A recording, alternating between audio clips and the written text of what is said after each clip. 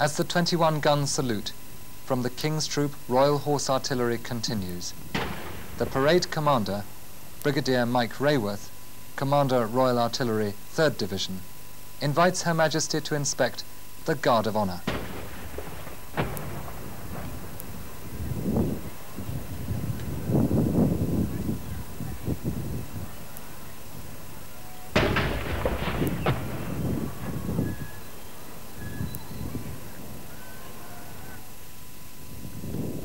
Queen is met by the Commander of the Guard of Honour, one Captain Richard Farndale, Adjutant of 1st Regiment Royal Horse Artillery, whose father, General Sir Martin Farndale, served in E and B batteries in Egypt and Germany, and subsequently commanded the Chestnut Troop in action in South Arabia in 1964.